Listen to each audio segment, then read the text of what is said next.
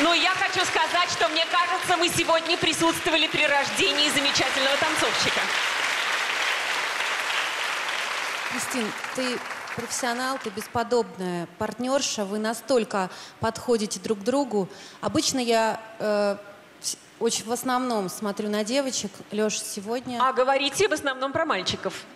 Но, во-первых, я фигуристка тоже, извините, пожалуйста. Я понимаю, понимаю. И- Поэтому, наоборот, я очень ценю, что сейчас вы сделали акцент на эту замечательную балерину. Балерины э, безупречные, я восхищаюсь каждой.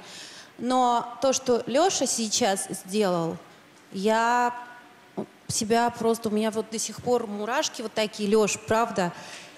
Это я, я видела глаза твоей жены, Тани, она, мне кажется, до сих пор плачет еще, я не знаю, но, но это, это правда.